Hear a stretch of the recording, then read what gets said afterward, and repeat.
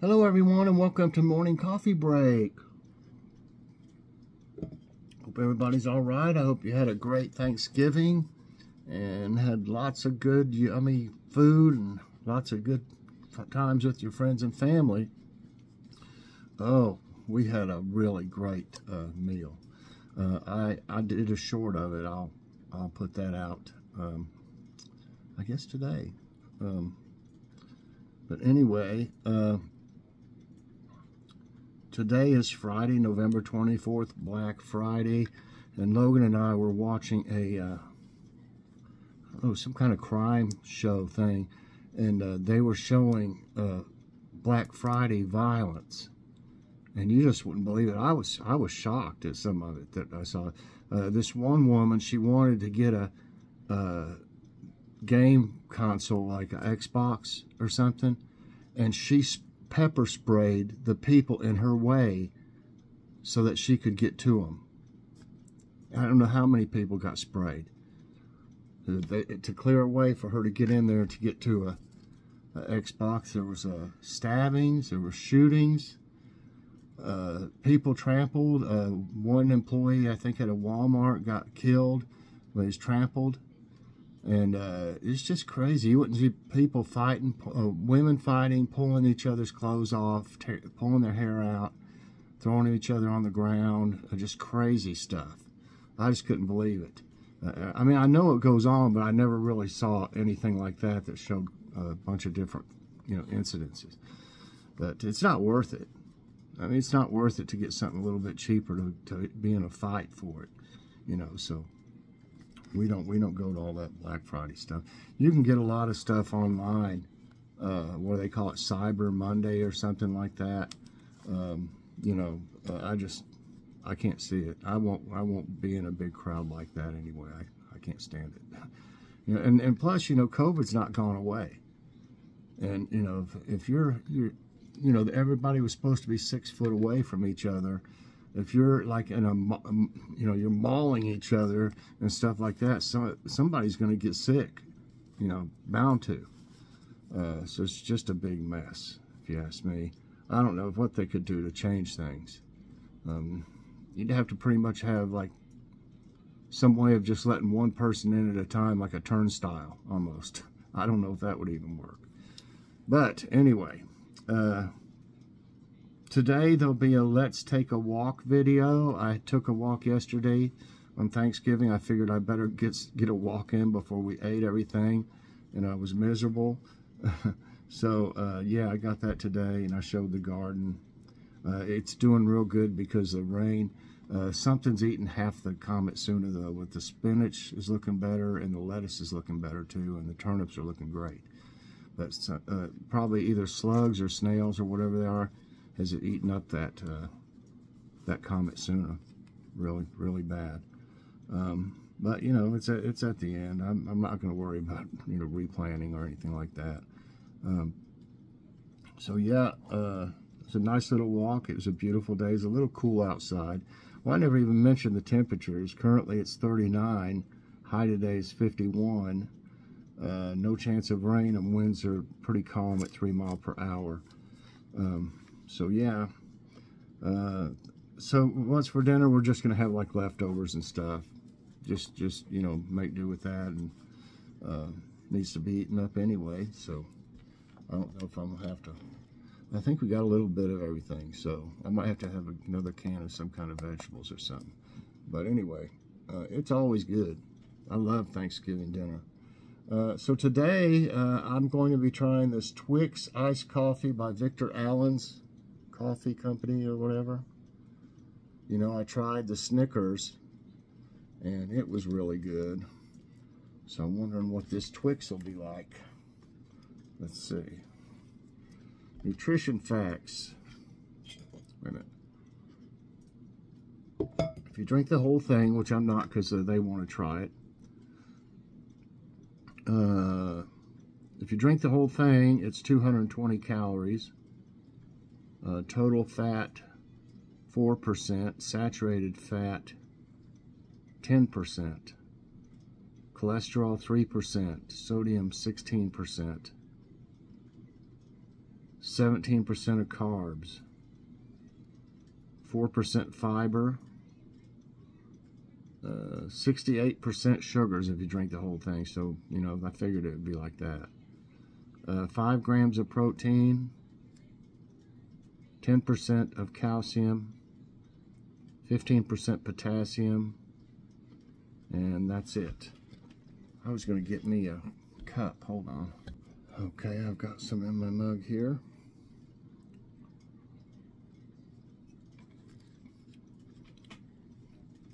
Wow. That does taste something taste something like Twix. I don't see how they do that. The Snickers one tasted a lot like Snickers. The Oreo one tasted like the mainly like the cookie uh, on the Oreo.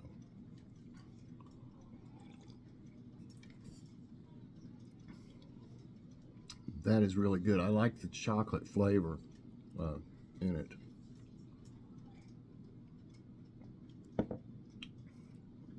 that's great. All right, for the nutrition facts, I'm just going to give it a, a, three and a half, let's say, out of five, and that's probably being a little generous because of all that sugar. But um, it's got carbs in it too. Uh, so anyway, uh, for for flavor, I'd give it a five out of five. Five out of five.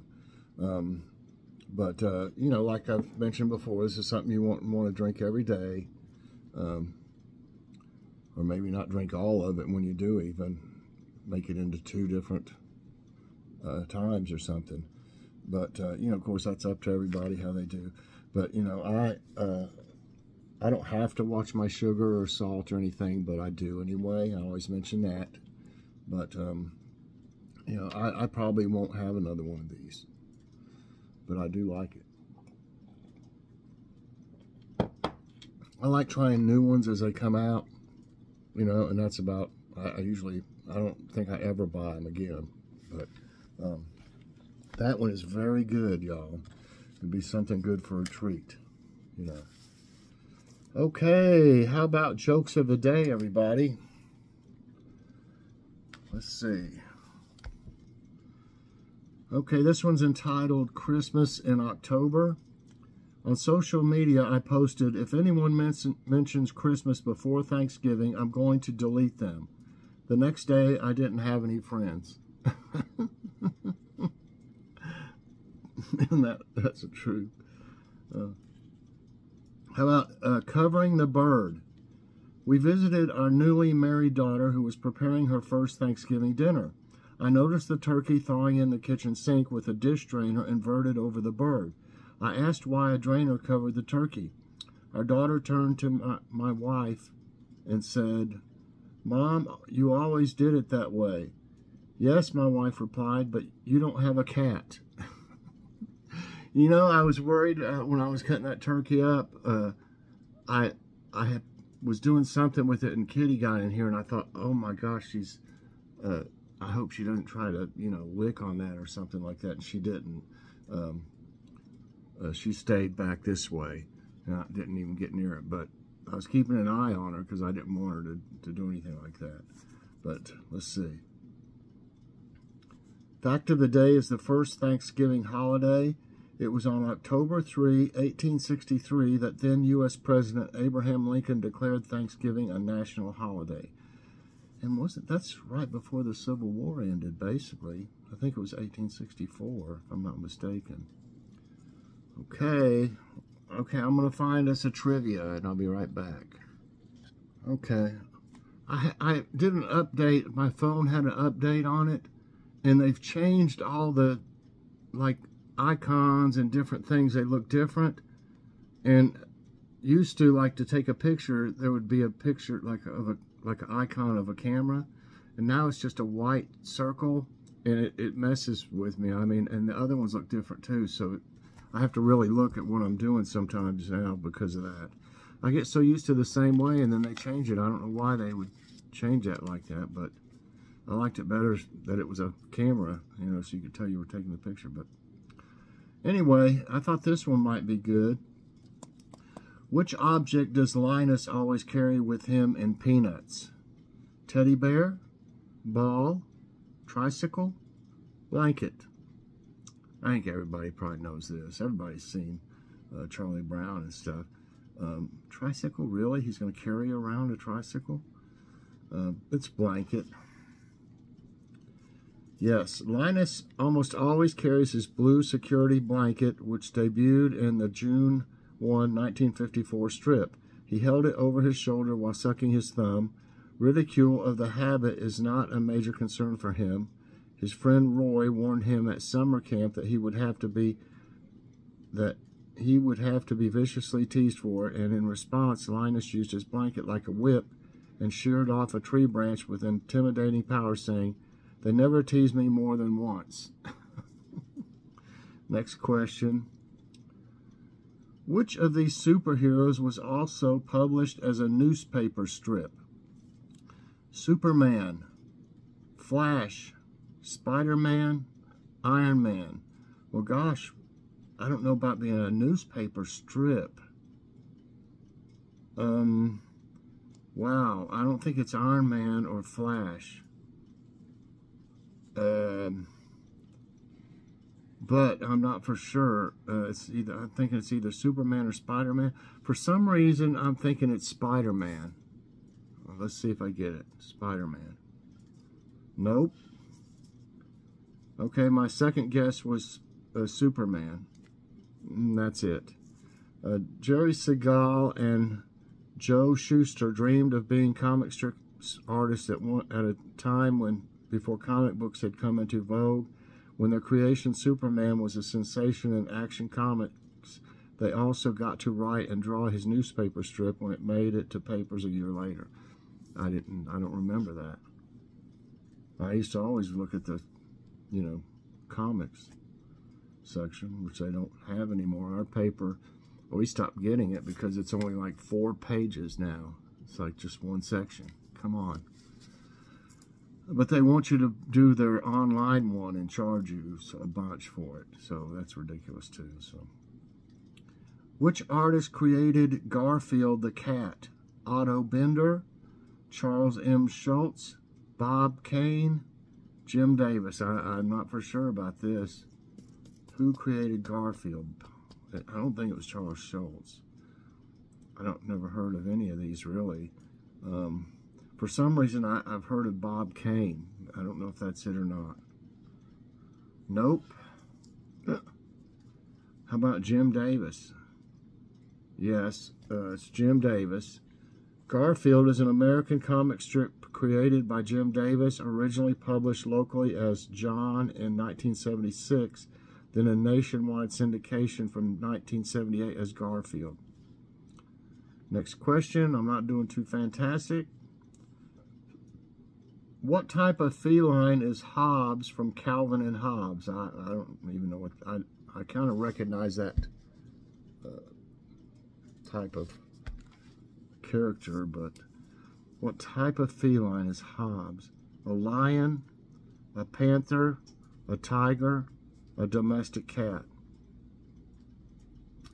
Well, I wouldn't think, if it's this little kid here, I wouldn't think he'd have a lion or tiger or panther, so I almost said cat. No, oh my goodness. How about a lion? No. A tiger? It's a tiger. Hobbes, name for the philosopher Thomas Hobbes, is the deuteragonist of the comics. He is Calvin's stuffed tiger and best friend, who from Calvin's perspective is a tiger as real as anyone else in the strip. Well, well, I don't really know some of this, but I'm learning things. How about Popeye? What is the name of Popeye's love interest in the cartoons? I think I know this one. Olive, Strawberry, Helga, Sandra. Olive Oyl. That's funny. Her name is Olive Oil. Yeah, Olive O Y L. That's pretty cool. You know, I never really thought anything about that when I was a kid. I, I, I probably didn't even know what olive oil was, but now it's kind of funny. olive Oyl is an animation character made by E.C. Segar in 1919 for his funny cartoon, thim cartoon Thimble Theater. The strip was subsequently renamed Popeye after the I'm twist, uh, twisting things today. Mariner person that turned into the most well-known individual from the cast. Okay, two right and three wrong. In Archie comics, what is Jughead's real name? I don't know that. I know what Jughead is.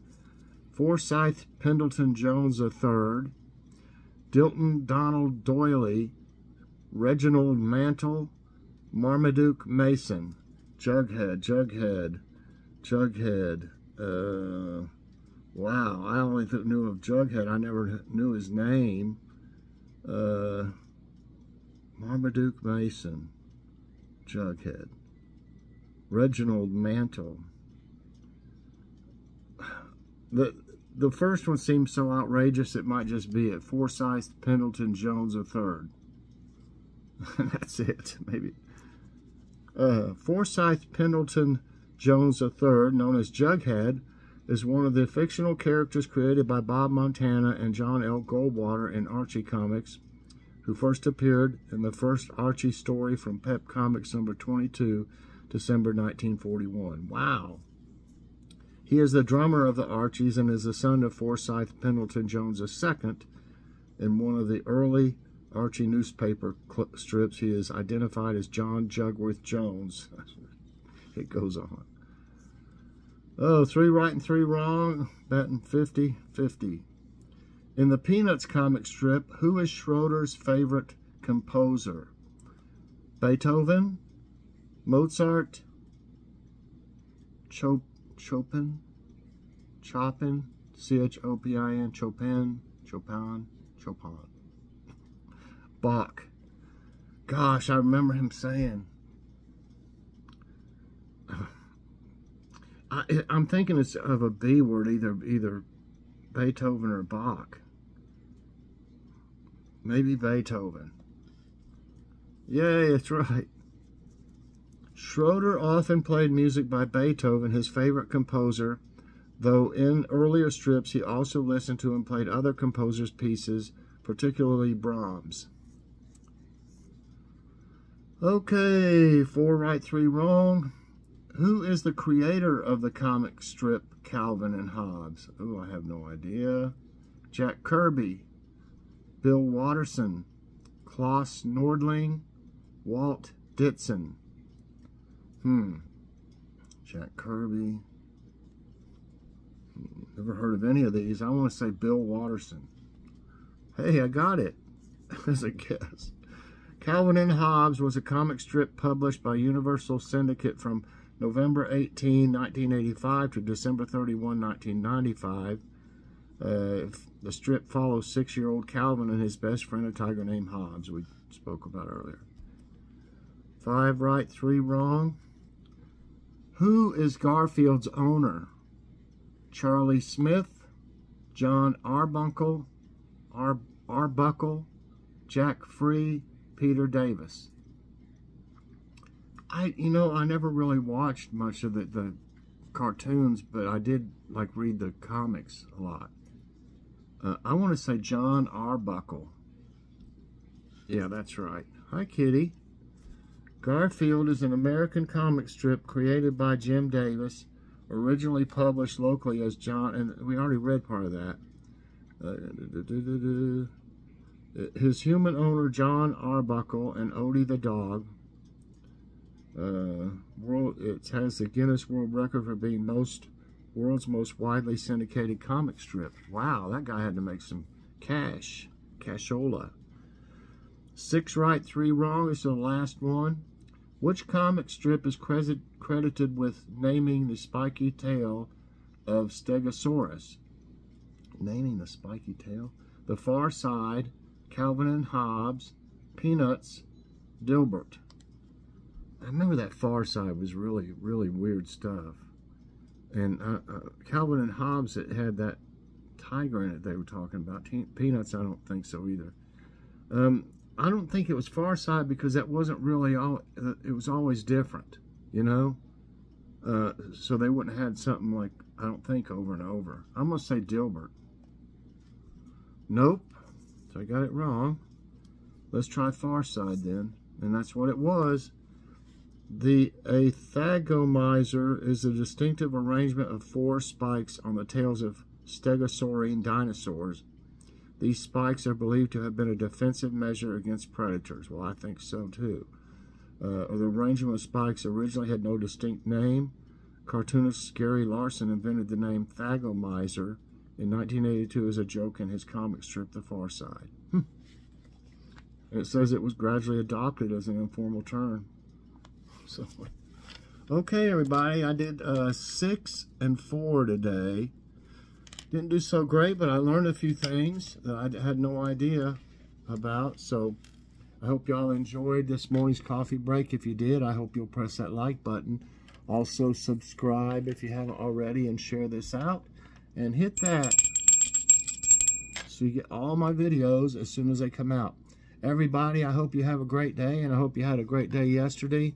So thanks for watching, and check out uh, Let's Take a Walk later on. Bye, everyone, and God bless.